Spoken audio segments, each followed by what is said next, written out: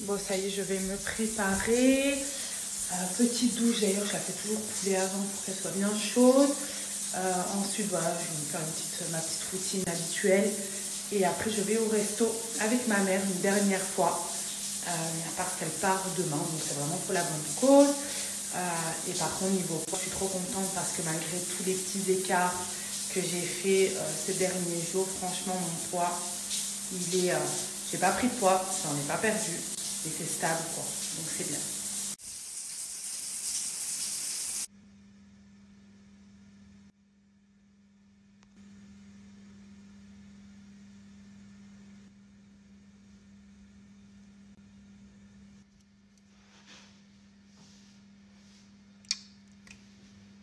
Je me suis fait un petit style. Bon, rien de ouf, hein.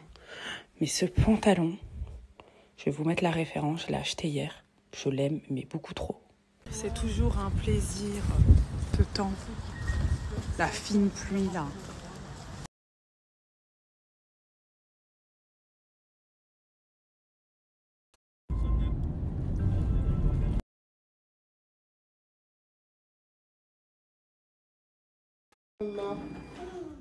Puis tu regardes Kingo, puis tu l'enlèves. Ce que moi j'ai ressenti, c'est euh, ne plus avoir faim. Malgré le régime que je continue d'avoir et les petites portions que j'ai déjà, eh ben, j'ai pas faim. Donc je mange même pas toutes mes portions parce que j'ai vraiment cette sensation de satiété, cette sensation d'être rassasiée sans même avoir mangé.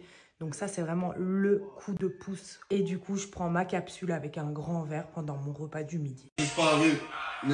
Designer. Je comme designer, même quand je fais de l'argent. Je reçois des vidéos en DSD, PDF, FMJ, compris, c'est une en ESD. T'es en Non, arrête, arrête. N'oublie pas mon petit soulier, mais avant